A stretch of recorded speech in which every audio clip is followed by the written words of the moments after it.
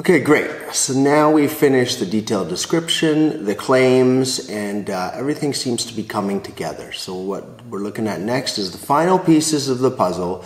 That's the summary, the abstract, and the title.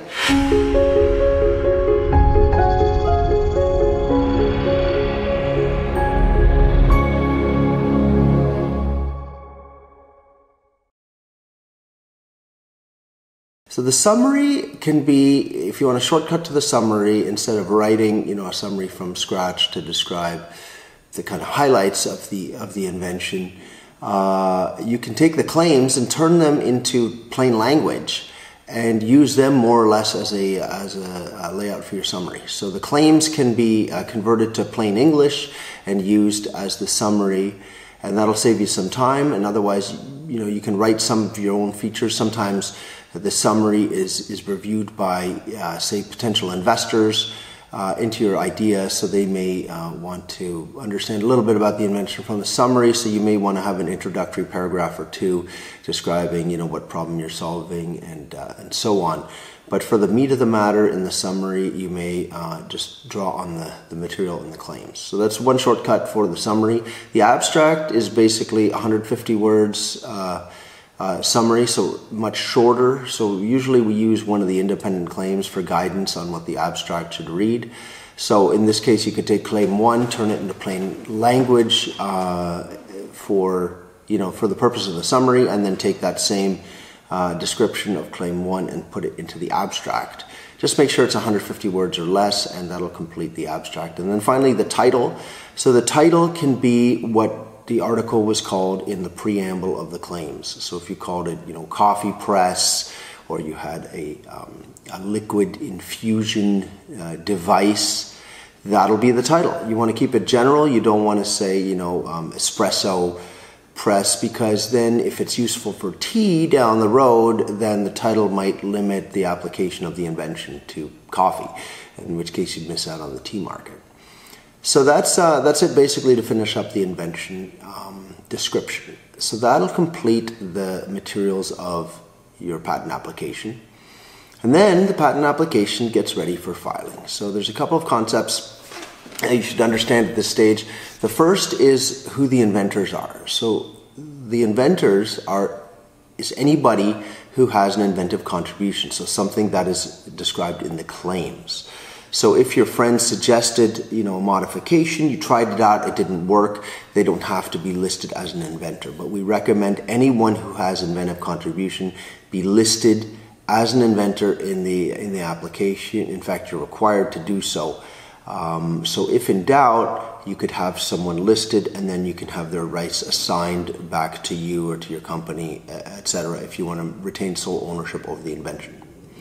Now, the second concept to understand is ownership. So ownership is the assignee. So an assignment is made from the inventor, who's the first owner of the invention, to usually a company he works for, or uh, a corporation, or you know, if it's the invention is later sold, then it'll be assigned to the, the purchaser of the invention.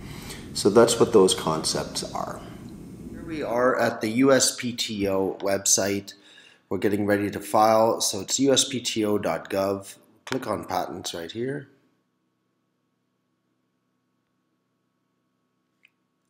File online. You can see it's the second link here. It's EFS Web. EFS Web.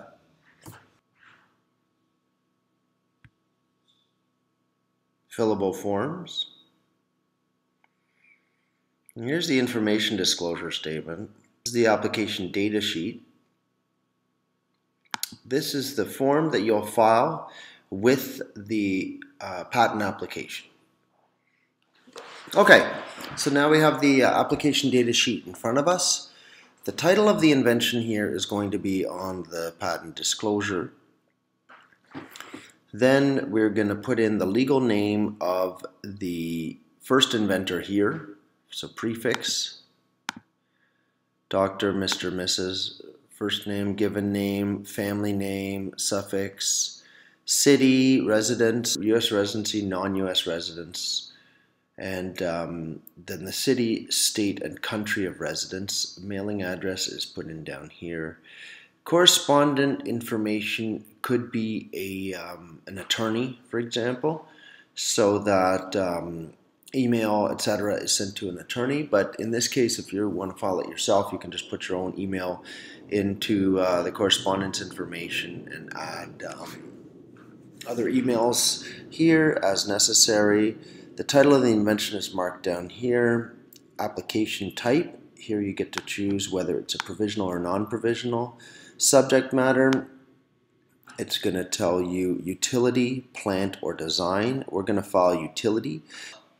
Design is for the aesthetic features of a product, and plant is for the uh, plant breeding information for uh, plant breed. So we're filing utility here. The total number of drawing sheets, if any, so you may have two to three drawings. Suggested figure for publication, you can recommend uh, a figure that you want to appear on the front of the patent. So in this case, you know, it may be a perspective view. That's uh, what's typically selected for that. So filing by reference, if you have an earlier related application, you can file it, you can put the information in here. So this might be where you filed a provisional and then at the one year mark you're filing a non-provisional and you want the application to relate to that provisional, you can put the information in here. Down here you can request not to publish or early publication. Um, I would recommend just leaving it as, uh, as usual unclicked. Representative information, domestic benefit, national stage information. So this again is a priority document. So where you claim the benefit of a, uh, a PCT application and this is a national entry into the US. We have a foreign priority, so you could file in Europe, for instance. You'd have the same one-year period in which to file in the US, so you might put the European application information here. So then this is the applicant information. Remember, I, I was distinguishing between an inventor who has a part of the invention process and the applicant is the one who will be overseeing the application. So usually in this case it would be the assignee who would then receive the, uh, the rights to the invention who will then prosecute it. So if you're just filing this for yourself, then you'll also be the applicant. So put your name in under the applicant here. You can click whether it's assignee, maybe legal representative, or a joint inventor um, person to whom the inventor is obligated to assign. That's if you're working for a company and in the contract you are required to assign it, and um, and so on. So if you're just filing it for yourself, then you won't uh, click any of those. You put the information in here, and then it has also the down here you have room for uh, another. Um, sorry, is this the address? No, that's the address for the applicant there. This is an assignee, so you can put down the assignee. May be the same as the applicant, or maybe nobody. You may just leave that blank. If you if you're just filing for yourself, then you would fill out just the inventor and applicant. And then here's your signature along with your uh, the date of uh, the signature, and then printed first and last name. And then you will send that send that off with the filing. Okay, this is your provisional application cover sheet.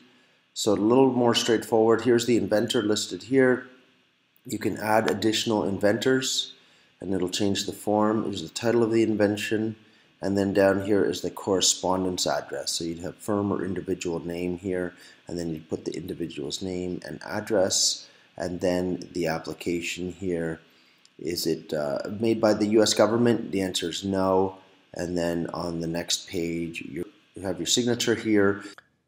With the uh, status um, micro or small, you want to make sure that if you claim micro entity that you actually qualify because it can lead to invalidity of the claim.